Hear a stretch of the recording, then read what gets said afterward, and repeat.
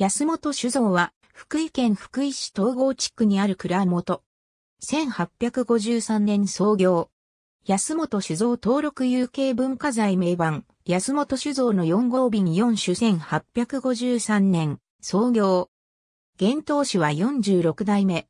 戦国時代には、両替商、農業、林業を営んでいた。現在まで酒造業。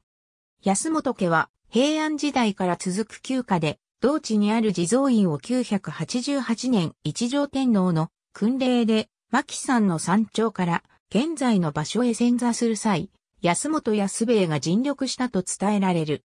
しかし1893年の大火で、すべての古文書が消失しており、詳細は不明である。明治時代の当主は、安本安五郎。安本安五郎が、当主の時、銘柄、国物傘は、福井県酒造組合主催の品評会、北陸三県酒醤油品評会等に出品し、交渉受賞。明治時代の当主、安本安五郎は、村会議員、区長等を歴任し、地域への功労があった。1889年建築の店舗兼母屋を、はじめ、米蔵、土蔵、仕込み蔵など、明治中期から昭和戦前期にかけて建築された10棟が、国の登録有形文化財に登録されている。間口45メートル、広さ1800平米の敷地に、住宅、蔵などの建物が立ち並び、造酒屋の屋敷構えを現在に伝える。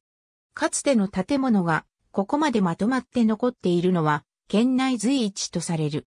銘柄は、約20種類あり、大野産の酒米をくし500万石を原料とし、白山水系の伏流水で仕込んでいる。